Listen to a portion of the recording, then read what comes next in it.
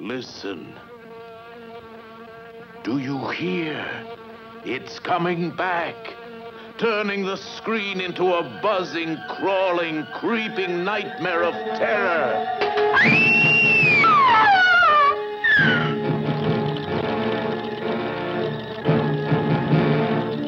This is the son of the original fly, daring to explore the forbidden science of transmigration that brought horrible death to his father. You look as if you've just seen a ghost, old man. It was the fly.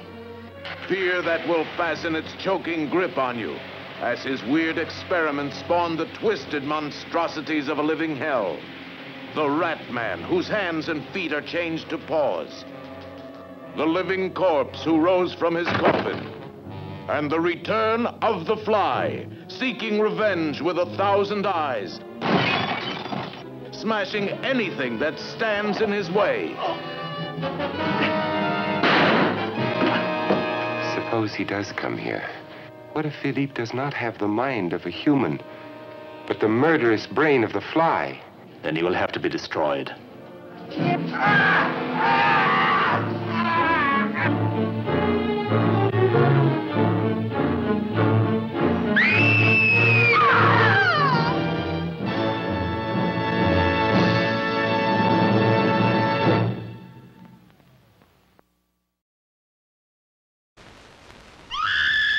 One second ago, it was human.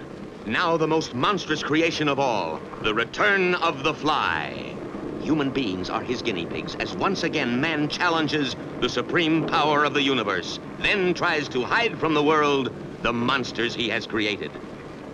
What is the terrible secret of his father's death? And how can he keep the world from knowing he is the son of the fly? The world cries out in terror at the return of the fly.